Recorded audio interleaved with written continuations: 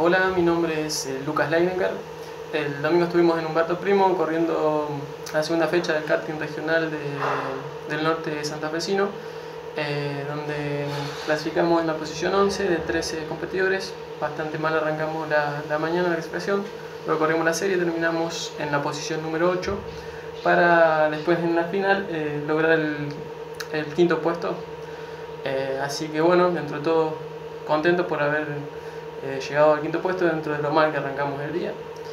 Eh, agradecerle a mi viejo que me acompañó y bueno, eh, contarles que el fin de semana que viene estaremos en Santa Clara, en la quinta del karting de Río Salado, esperando conseguir algún buen resultado ahí también.